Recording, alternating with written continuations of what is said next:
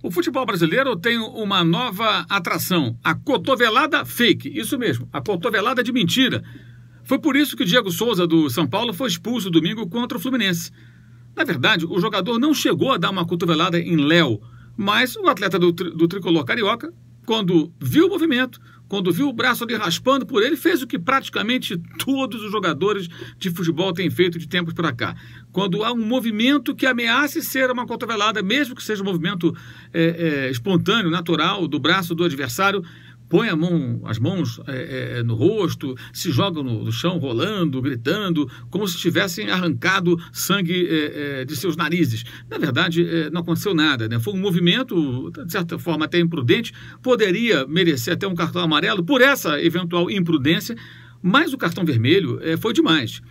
um excesso da arbitragem é, que até o Salve Espíndola, é, o nosso consultor de arbitragem nos canais SPN, me dizia dia desses, é, os árbitros estão sendo cobrados para que tenham um grande rigor nesse tipo de jogada. E aí acabam dando cartão à torta direito, porque a chefia quer assim. É, mas é muito ruim, atrapalha o jogo, o jogo fica é, é, comprometido, uma das equipes cedo perdendo um jogador, sem que ele tenha consumado uma agressão.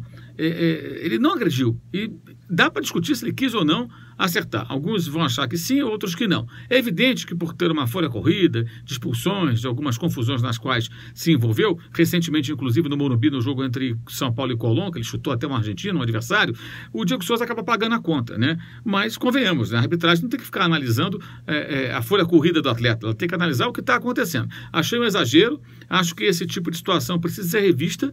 Claro que a gente não vai estimular a violência e a agressão, mas punir com cartão vermelho uma quase agressão, sem que você tenha até a convicção de que o cara quis ou não cometê-la, eu acho que é um exagero, acho que é um pouco demais. É preciso uma reflexão com relação a isso. A gente não pode mergulhar numa, é, digamos assim, numa cruzada contra a violência do futebol, é, punindo até a violência fake, a violência que não acontece, a violência que não é consumada, é algo que não se concretizou. E no caso, é a cotovelada fake, essa nova criação da arbitragem do futebol brasileiro. Lembrando que nós temos linha de passe quarta-feira, quinta-feira e sexta-feira na ESPN Brasil, né? fechando essa semana. Estaremos aí juntos na quarta e na quinta debatendo sobre os jogos do fim de noite envolvendo os times brasileiros na rodada de Campeonato Nacional Série A do Campeonato Brasileiro. É isso aí. Saudações.